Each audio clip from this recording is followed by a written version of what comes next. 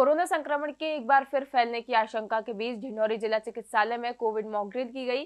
Covid को लेकर oxygen की उपलब्धता और प्लांट की जानकारी ली गई। वहीं इमरजेंसी के समय पेशेंट को दिए जाने वाले उपचार, वेंटिलेटर और चिकित्सा की टीमों की तैयारियों का जायजा भी लिया गया। ढिंडोरी जिला अस्पताल के civil surgeon doctor Ajay Raj ने बताया कि जिला अस्पताल में शासन के निर्देशों के तहत ऑक्सीजन प्लांट पूरी तरह से तैयार है।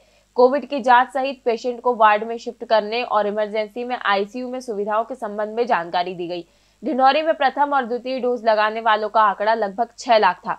वहीं तीसरा डोज महज सैतीस प्रतिशत, यानी दो लाख तेईस हज़ार लोगों ने ली है। अब जबकि सरकार की तरफ़ से कोरोना अलर्ट आया है तो लोग वैक्सीनेशन के संबंध में जानकारी ले रहे हैं।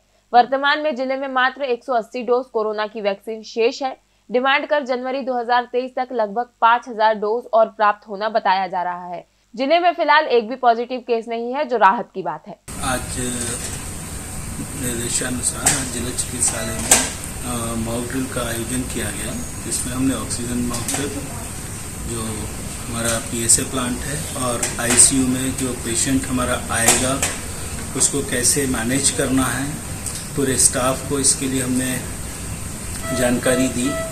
और हमारे पास आईसीयू में 10 बेड है पीआईसीयू में 10 बेड है और अभी की स्थिति में हमारे पास 100 जो बिस्तर हैं वो ऑक्सीजन सहित सारे बेड हमारे तैयार हैं और हम लोग कोविड की तीसरी लहर के लिए भी पूरी तरह से तैयार हो गए वर्तमान में अभी कोई कोविड का मरीज़ नहीं है।